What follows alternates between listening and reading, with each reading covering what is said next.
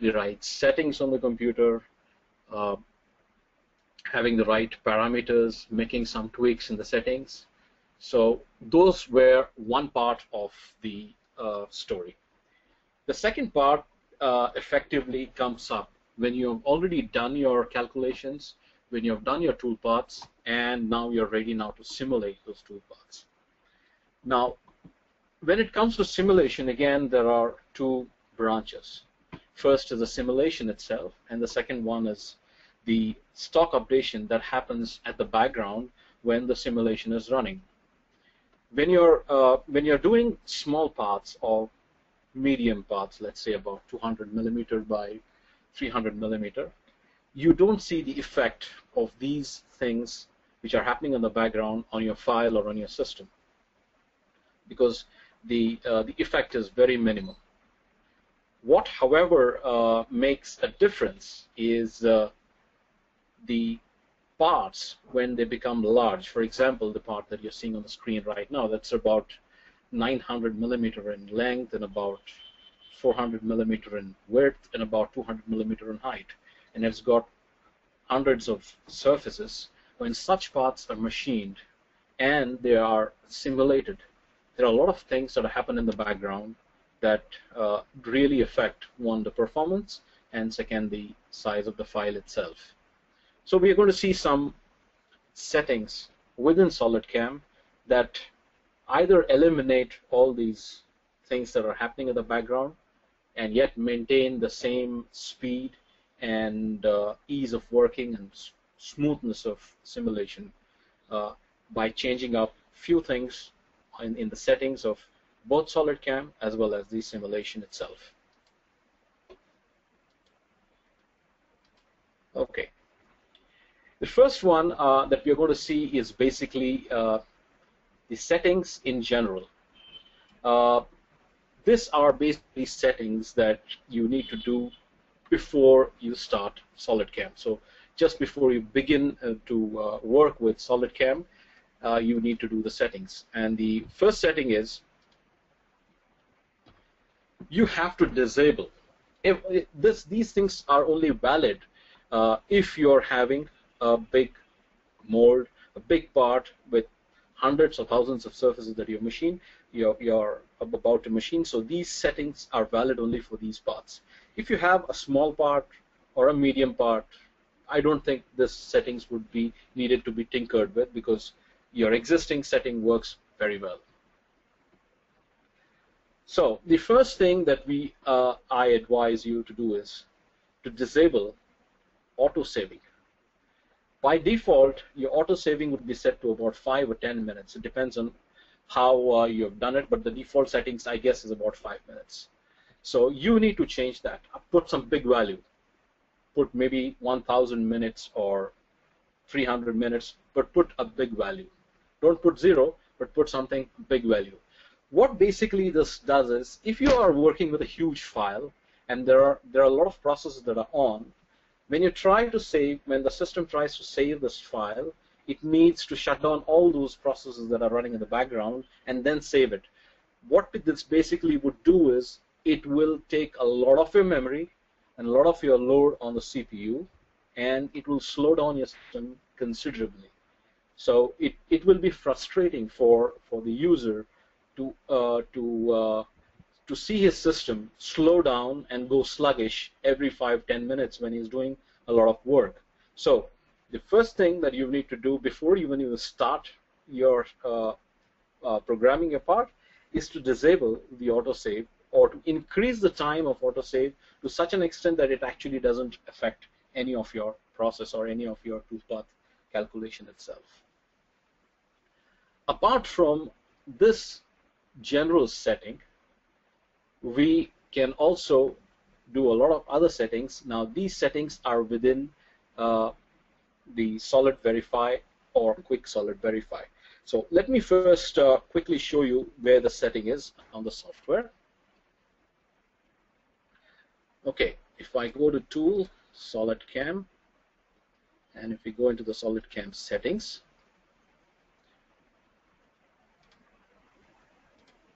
Okay. Let me see where it is. Here. This is the place where you need to change this value. Now this has to be done or you move into SolidCam or before you start your SolidCam process itself. So change this, put some put some big value, 360 minutes, so that for the next six hours at least, it will not do an autosave. The user can always save it manually, but at least the system will try to do an autosave. Because when it tries to do that, it takes a lot of your memory and CPU, especially if you're doing huge parts. Okay, right. So that's uh, that's one. The next settings that we're going to see are more with uh, the simulation settings itself. And these are within Solid Verify and Quick Solid Verify. Right. Now you, uh, many times people ask me, why are these two simulation modes given inside SolidCAM? Why not just Solid Verify or just Quick Solid Verify? Why are these two given? Now, when you're doing huge parts, you'll probably realize the use of of one of them. It's uh, it's either Solid Verify or Quick Solid Verify. So today I'm going to uh, explain to you how both of them work and which of them you need to use when you're running really large parts with with toolpath that runs into uh, 100,000 lines or even more, sometimes few million lines of code. So you need to understand which one to use and where to use it. First thing, when you're doing uh, any 3D machining operations like mold or a die or let's say uh, uh, a huge aerospace part with, with uh, several hundreds of surfaces and a lot of uh, G code being generated, in such case, make it a point to always use Quick Solid Verify. If I have to put it in a nutshell, you need to use Quick Solid Verify whenever you're doing HSM, HSR, or any 3D milling operation. Quick Solid Verify gives much quicker results in 3D milling operations for extremely large parts. We have a customer in uh, in uh, who's using SolidCAM, and uh, he actually had a lot of complaints about uh, the simulation itself. One moment.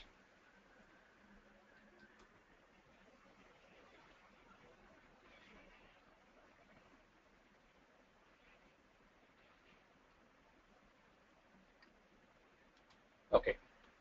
Uh, so this customer was complaining a lot about uh, the uh, simulation speeds because he was doing uh, pretty large parts. In on one of his parts, Solid Verify was taking almost an one almost an hour to simulate, and sometimes going into a loop. And that's when we uh, came across did some settings and made him run that particular part on Quick Solid Verify, and the entire simulation finished in under six minutes. It was a huge part, but the time difference between Solid Verify and Quick Solid Verify was substantial. It's like 60 minutes or more in Solid Verify and about under six minutes in Quick Solid Verify. It's it's a big difference. It also uh, it also uh, gives a lot of uh, good feeling to the programmer because he doesn't feel frustrated waiting for the simulation to finish. So the first gospel is when you're doing a 3D milling operation or when your, when your part has a lot of 3D milling operations, you should use Quick Solid Verify since it gives much faster results. Now, why is that Quick Solid Verify gives quicker results than Solid Verify? This question, the answer is in the next slide. And it's in the way in which solid, Quick Solid Verify has been developed. How does Quick Solid Verify work? Quick Solid Verify actually creates an accurate model of the machine stock by storing the analytical definitions of all surfaces that are created during machining. So it's it's doing it's it's like storing all your analytical surfaces within the simulation. And after calculations are performed for that particular analytical surface, that's why you don't see the tool, when you do quick solid verify, you see that it runs several hundred thousand lines and then it shows you the uh, result. It goes on showing that. So when the calculations are performed, it generates a surface mesh back again that is basically specified or generated for a specific number of cutting moves. And it's then rendered to visualize the cutting result. The rendering in case of Quick Solid Verify is almost realistic because you can zoom into a particular area and you could actually do a further refining of the entire simulation itself. And this is the main reason, the, the main reason why Quick Solid Verify is much faster than Solid Verify is this because it works on analytical geometries. Okay? And this is exactly opposite when you go to Solid Verify.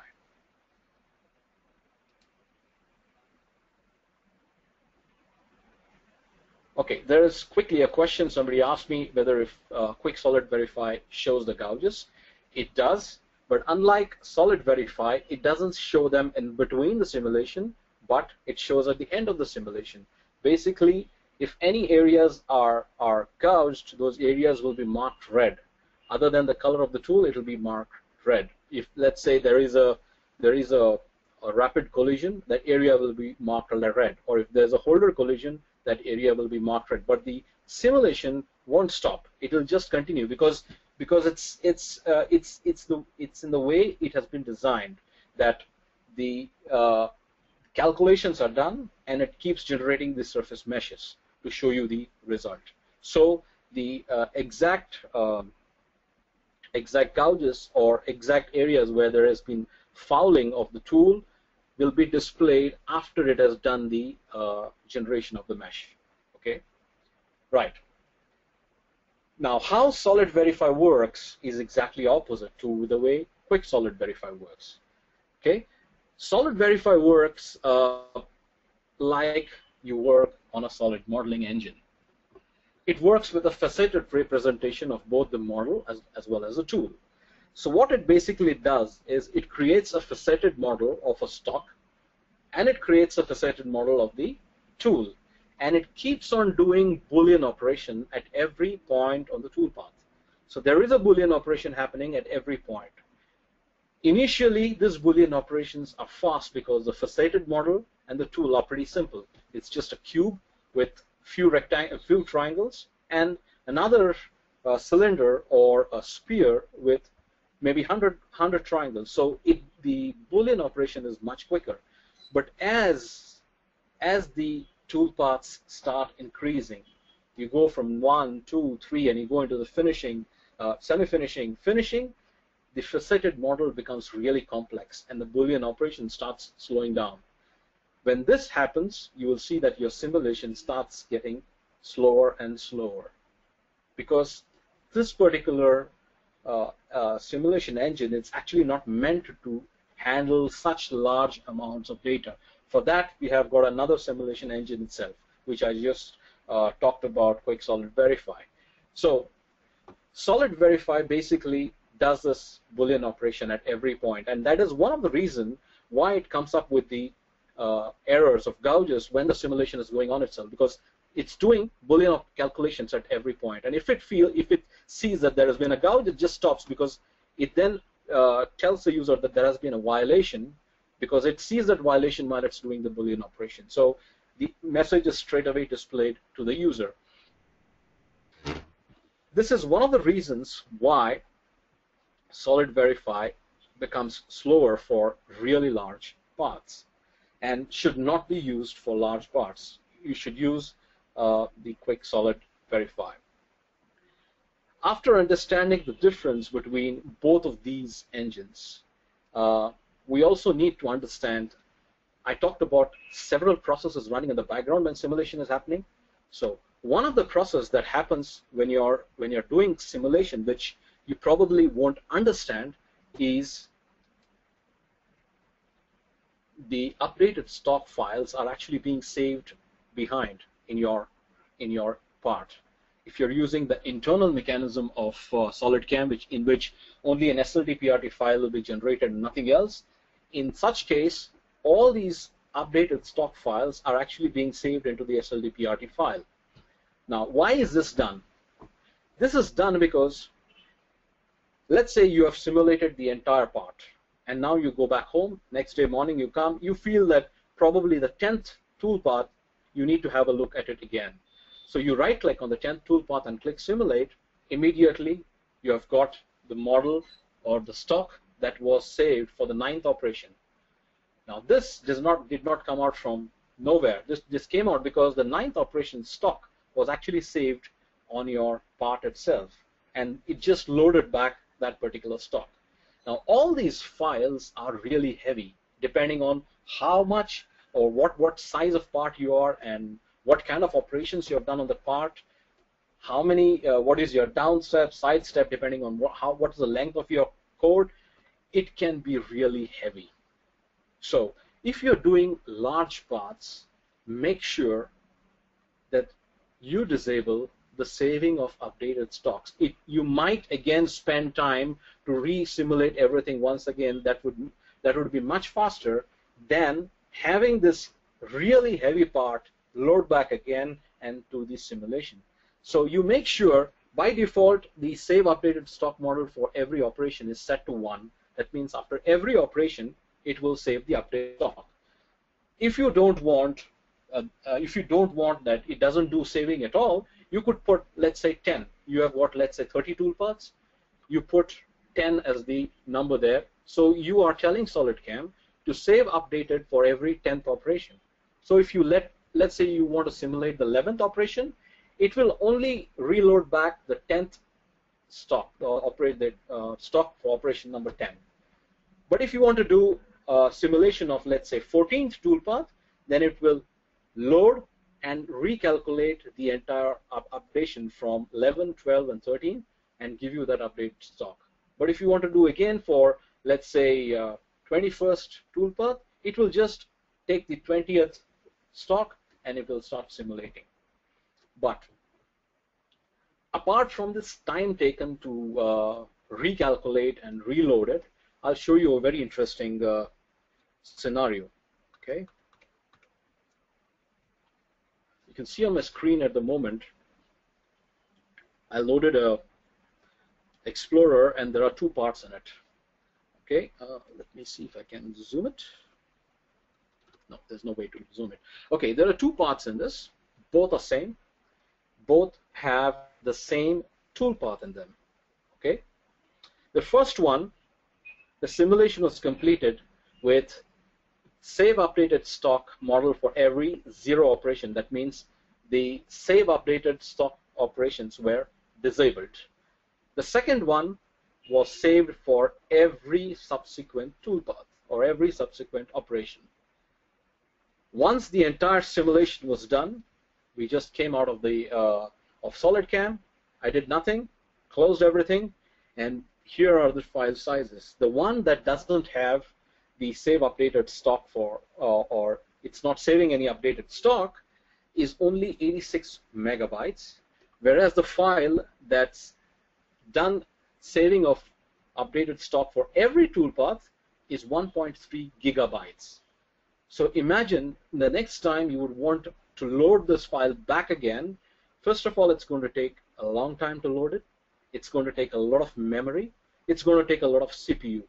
Apart from this, you imagine the amount of time it will take to save back this 1.3 gigabytes back on your hard drive. So it's very important that if you're doing large parts, I'm not talking about small and medium ones. That those are fine. Those won't those won't uh, change so so dramatically. There will be a very small change. But for large parts with many tool paths in it, you will see that the the difference in file size is very dramatic from what you're seeing in front. From 86 megabytes, it can go all the way up to 1.3 gigabytes. So it's very important that, uh, yes, uh, somebody asked me, are you recommending it to set to zero? For large parts, yes, please set it to zero because uh, otherwise you would, you would end up having your file size really huge. You set it to zero, you actually don't change anything in your file size. So if your file size, let's say, is 100 megabytes, it will only stay 100 megabytes, whether you're doing simulation one time or you're simulating 10 times. the file size will stay the same uh, and it, it won't change. So you will work much faster. You'll simulate simulate much faster. Everything will happen very quick as if you're working on a small file. So it's very important to have this uh, setting done again before you move into uh, uh, SolidCam or if, even if you've moved into SolidCam you could go into the part settings and change this value. It can be a part dependent setting. It need not be a global setting, but it can be a part dependent setting. That means you need not set it always to zero for, for globally. That means for, for, for all the parts that you're doing. Probably you're doing only 10% of large parts. So you don't want to disable the stock for all the other 90%. So you could go into that particular file and using the part settings, do a local setting and say you do not want to save the stock for every operation. So my recommendation is zero. Like I said, you could put it at 10 or even at 20 depending on the number of tool paths that you have in your file.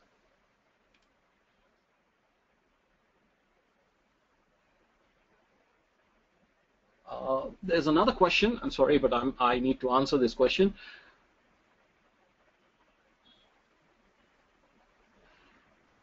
Uh, somebody asked if all of this data uh, can be lost by uh, cleaning up. Uh, the answer is yes, and the answer is no, because there are two types of cleanups that are possible. I'll just come to that. Mm, let's go back to solid cam. The first cleanup happens uh, out here in this. Okay, you select all of them and you click OK. That's the first cleanup that will happen out here. The second cleanup happens within the simulation itself. So if I go to, let's say, Solid Verify,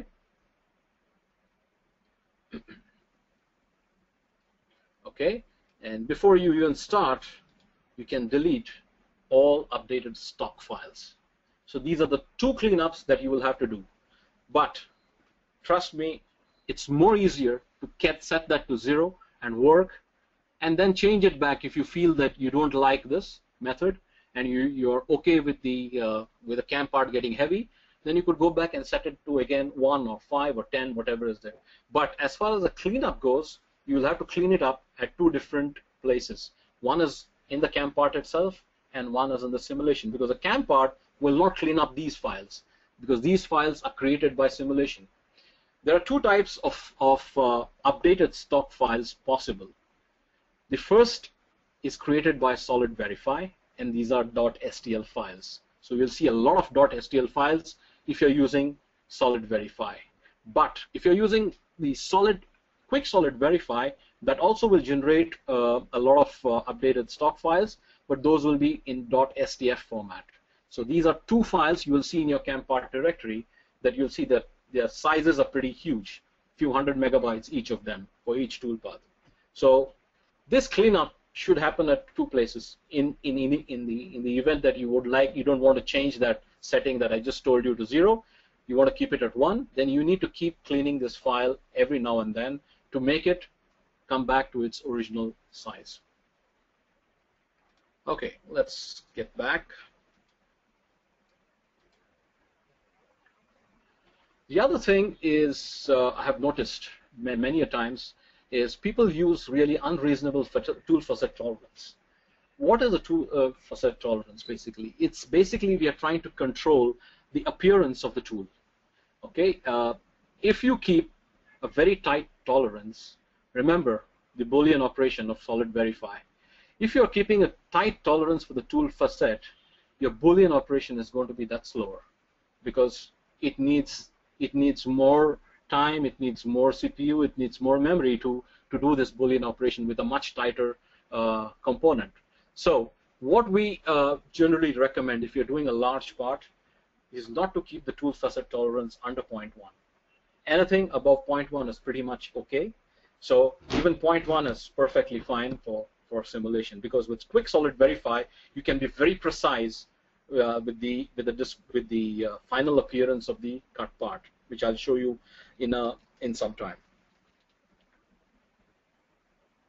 And the most important thing when you're using Quick Solid Verify, when you start using it, is when you're doing large paths, it's generally not needed or it doesn't make sense to look at every tool uh, movements or the animation of the tool at every point. It generally doesn't make sense. If it's not important to you, you just want to see how the final roughed out block looks like. If the animation is not very important to you, just jump to the turbo mode. The turbo mode significantly speeds up the quick solid verify simulation itself. And it'll immediately display the toolpath after it has finished the complete uh, cutting. So it won't show you the intermediate results, but it will show you immediately the final result of that particular toolpath. So if you use, let's say, 10 toolpaths to simulate, the refresh will happen after the end of every toolpath. So you don't waste time looking at the animation because in let's say you're doing uh, in maybe in roughing the animation is uh, important to you, so you don't use turbo. But if you go into finishing and there are a lot of linear passes, you don't want to see the tool going from one point to the other doing linear machining. You just push the turbo, the entire finishing after it's done, immediately the results are displayed to you in form of a mesh, much accurate mesh. So if the animation is not important, push the turbo mode. Some more settings again in uh, Quick Solid Verify. What we need to do is uh, the animation redraw interval. The, the default redraw interval sometimes is pretty small. It's like 20 or 30. And it forces the system to redraw or refresh that cutting area every 25 or 30 moves, whatever has been set. You can change this and set to maximum, the value 1000. 1000 is the maximum. You need not, you, you can't cross beyond, beyond 1000, but you can set that refresh value at 1000. So after every 1000 blocks, you will see it will refresh. What this does basically, it improves your uh, simulation time greatly. It, it improves it much, much more than what you would generally imagine. It's not five, ten times. It's it's even more than that. So move away from the default value and set a value of about 1000 for the refresh. So after every 1000 blocks, there will be a refresh. For small parts, you could go back to your default. Again, this could be a part setting. You need not do it on a global level, but you could just keep changing. You're going to a big part, just change this and start the simulation. But for small parts, you could keep it uh, to the default because you would like to see those moves in small parts. Another very important thing that could save uh, you some memory and the uh, simulation startup time uh, is basically disable the automatic loading of target model. You can always load it manually after you go into the simulation because in the simulation your target model is needed only to check if you have left out any material or if you have eaten away more material, only to do a comparison. You don't really need the target model to do any uh, simulation. But by loading the target model, you're actually making your simulation that heavy because it needs to take the target model also into account when it's doing the simulation. Instead of that, you just say don't load the target model and you could just do the simulation without the target model and when you would like to do a comparison, you could go into the simulation and say load the target model and then run the comparison. This can significantly reduce the time to start the simulation because it doesn't have to create that STL and load the target into uh, the simulation itself. Another very important thing, again, this is an optional thing because it also does a great uh, help or it does uh, major help in terms of saving you a lot of time in simulation is to disable the clash detection between stock fixture or tool holder. This is an optional thing. I know not many of you will agree to this, but it is it can be disabled pro, uh, provided you know that you have taken the right length of tool and the right holder, and you know that your tool paths are are not likely to uh, hit the fixture. In such cases, you could just switch off uh, some of these values or all of these values. It can significantly improve your simulation time. And the last uh, and uh, not the least is basically to switch on multi-core support. uh, most of the times the multi-core support is is turned on automatically. The user need not do it if your if your system, if your hardware is already multi-core enabled, then the simulation automatically switches it on. But just in case you you have pressed it or you have you have switched it off, you could switch it on again, which will enable the multi-core support and the simulation will use the full capacity of all the cores available on your uh, system and speed up the simulation of your system or of, of the part itself. Uh, there is another question. Uh, I'm sorry, but I have to answer it. Okay. I'll just come uh, to answer that question now. Uh, basically, I'm going to go into the part. So there are two ways in which you could do the setting right?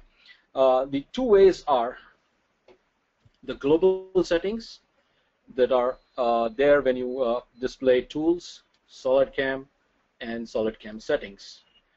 Now these things or these settings are our global settings. So whatever you do here before you start SolidCAM is is applicable to all the paths. But there is also a local settings. The local settings can be accessed out from here. So if I right click on the settings or double click on its settings and open, these are path settings that are valid only for the current part. So any settings that you would like to do, if you do it here, it's only valid for the current uh, current part that is there on the screen. So if I go into the updated stock calculation, and if I go into Solid Verify, you can see that by default, the updated or save updated stock model for every number of operations is displayed. So this is the place where you need to make it zero. And the same thing also for quick solid verify, you make it to zero. There is another method uh, if you don't want, for example, let's say you just make it one and you also make it one. You've got a second option which says that save updated stock model only for operations with long toolpaths. What does this mean? When you press on this checkbox, basically SolidCAM will analyze each toolpath. Internally, there is a hard-coded value which describes what toolpaths are going to be considered long and what toolpaths are going to be considered short. So it checks every toolpath, and if certain toolpaths are seen going above that particular value, I'm not sure what exactly that value is, but if it if certain toolpaths are seen going above that particular value, what SolidCAM will do is it will start saving the stock for that toolpath only so that you don't spend time to again recreate that stock when you're trying to do the simulation. So this is another option that you could use if you don't want to totally disable the saving of updated stock. This is value. Uh, this is valid both for Solid Verify as well as Quick Solid Verify. So you can do uh, this setting in, uh, inside uh, the part settings itself. And this will be valid only for this part. So if you go to the next part, the settings again won't be valid. It'll, it'll basically go back to the uh, global settings. Okay, let's cancel this. Let's see another uh, some of other settings that I just explained. So if I go into the simulation, you can see that my target model is being loaded depending on the size of the model, it could take anywhere between, let's say, 15 to 20 seconds to sometimes few minutes because the part is really heavy, contains 100,000 surfaces. It will take a lot of time to load this part back into the simulation. So you need to go into that particular area and disable loading of the CAD part.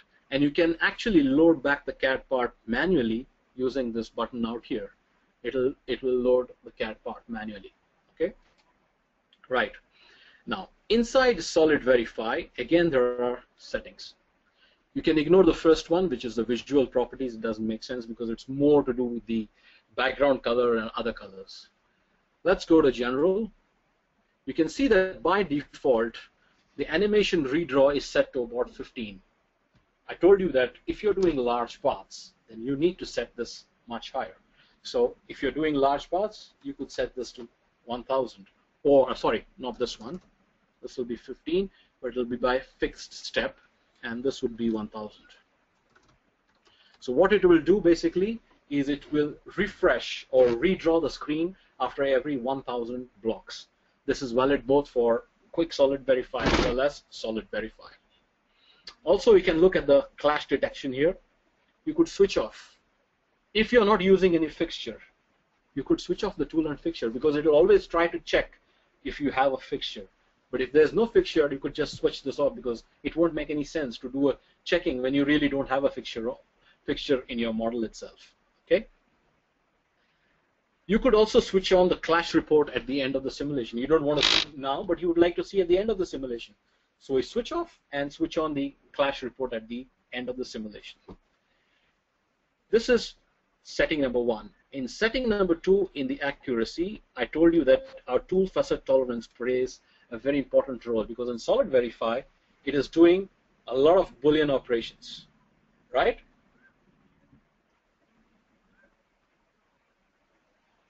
It's doing a lot of uh, Boolean operations, and this tool facet tolerance will greatly affect the Boolean operations or the simulation speed itself.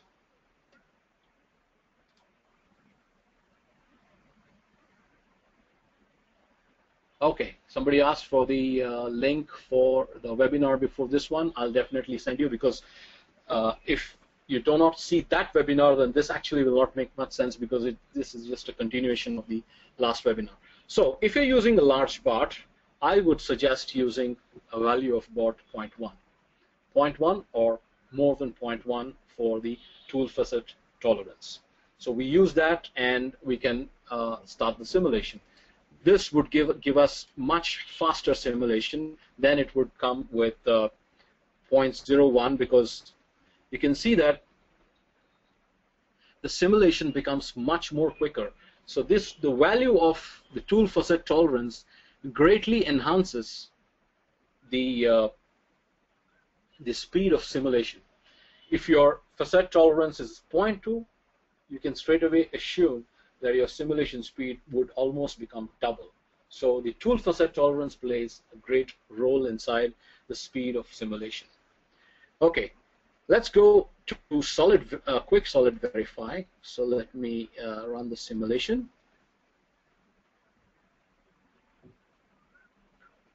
and we run quick solid verify.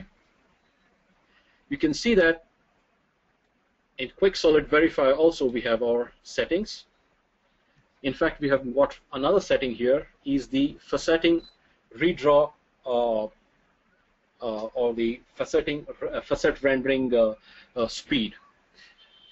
I will explain to you when I'm rotating the model because it's very important uh, that this bar needs to be set towards the faster one and not to the slower one. The slower one will delay your it because it will keep rendering it to a very high quality even when you're trying to rotate the model. So that will slow down your simulation completely. Let me, it's currently set to draft, it's fine. If I go into general, you can see again you have got animation redraw. It is set to uh, 1000, which is important. We have switched off the uh, clash detection. So you won't see the clash detection uh, dynamically, but you will see them at the end. It will show in colors where it is uh, where it has uh, gouged. So let me run the simulation.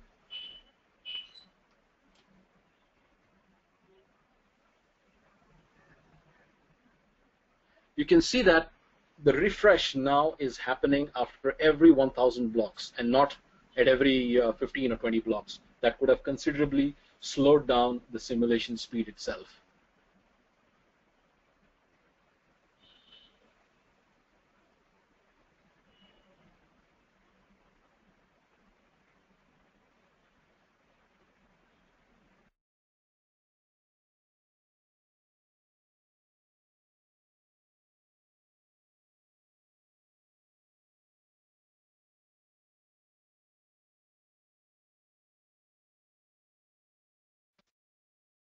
Simulating it, probably you're not going to see uh, the result immediately on your screen because uh, since the changes are happening very rapidly, uh, you would not see the uh, effects straight away.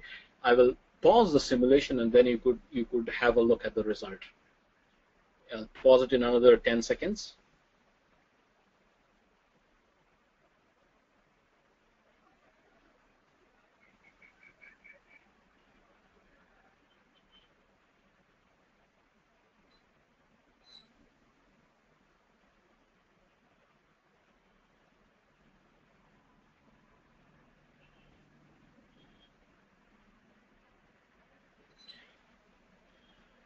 Okay, we have done. You can look at the simulation. The simulated model is uh, ready. Now, the best part of Quick Solid Verify is its ability to give you photorealistic, uh, a photorealistic image of the cut part itself. So let's say I want to zoom into a particular area. I want to zoom into this area here. So I will just zoom out. You can see the moment I click on zoom, it's changed the facetting it went you I, I told you before that you can set the bar to faster that is draft or to slower which will give you high quality rendering. The moment I tried to do some some changes to the uh, orientation of the uh, of the part it immediately went into the draft quality because this will give me much faster and better control on how I'm going to rotate the part. It won't it won't uh, uh get stuck or wait for the rendering to finish and then only rotate. So it goes into a draft quality. It allows me to zoom into that area. Now when I zoom into that area, you can see that it's, it's really garbled. Okay. After that, I click on this high quality button. When I click on high quality button, it does the rendering of the surface mesh. You can see that it's much more clear. You can see those scallops much nicely. Okay, so this is basically the biggest difference between Quick Solid Verify and Solid Verify. In, in Solid Verify, you could actually zoom and your your rendering won't change. So if it's whatever rendering you're seeing in zoom out condition, the same rendering you're going to see even in the zoomed in condition. So it won't change. Whereas in Quick Solid Verify, now if I if I want to zoom it out, uh, I'll just zoom it. If I rotate this part, you can see that it's lost its rendering. It's gone into what we call as a draft rendering, and then I can zoom into an area that I want to see more uh, clearly. So I'll zoom into this area here, and then click on high quality. You can see how the rendering comes up. It looks much more clean and beautiful. It's almost photorealistic. Okay, so there are major advantages using Quick Solid Verify, and uh, you should always make it a point to use Quick Solid Verify when you're doing large parts or when you're doing parts where you would like to zoom into details and check what has happened in those areas. Right? So uh, these are some of our, our settings. Uh, this again, the entire recording of this uh, webinar will be available on our website uh, probably on Sunday. If you have any questions, uh, you can please ask me the questions. If not, uh, it was really nice having you around, and we look forward to you attending uh, some of our webinars in the near future.